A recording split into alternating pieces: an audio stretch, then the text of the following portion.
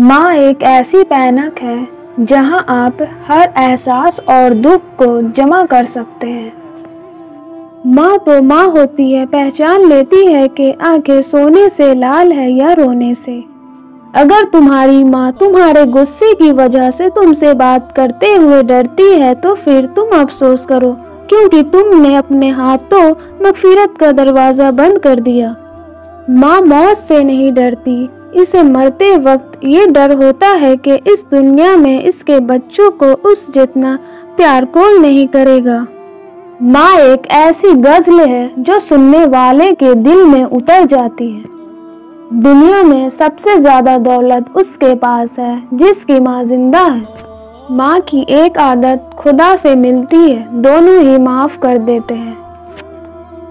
दवा अगर काम ना आए तो नज़र भी उतारती है। ये माँ है, ये कहाँ हार मानती है?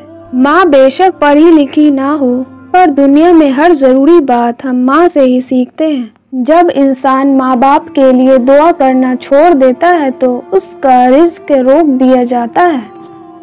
मेरे रब ने माँ को ऐसा रुतवा दिया है, मोहब्बत से माँ को देखने को इबादत बना दिया।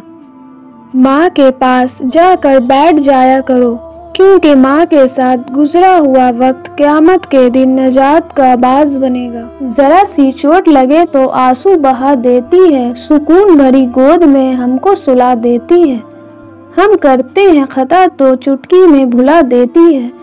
मत गुस्ताखी करना ऐ दोस्त उस माँ से, जो अपने बच्चों की चाह में अपने आप भुला देती है। माँ सच कहा करती थी कि फ़िक्र इंसान को बुरा कर देती है।